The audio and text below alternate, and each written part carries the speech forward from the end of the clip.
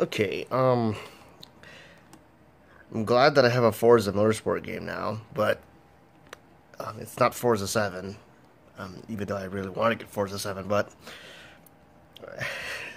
prices is too damn expensive. So for now, um, I'll just settle with Forza 6. And plus, it has this car, and that car is that thing right there. Um, so yeah, I got this pre-owned actually at GameStop. Uh, so hopefully it would actually work. Um, so it's pre-owned uh, at GameStop.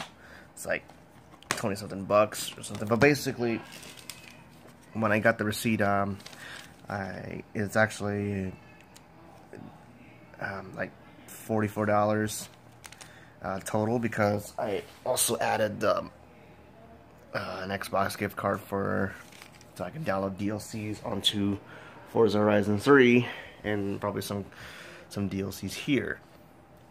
Um, so yeah, like I said, I wanted to get Forza 7, but too damn expensive. It's like it's almost 50 bucks for Forza 7. I mean, it's, it's quite a new game, but um, since Forza 6 kind of depreciated a little quicker, um, I decided to get this one.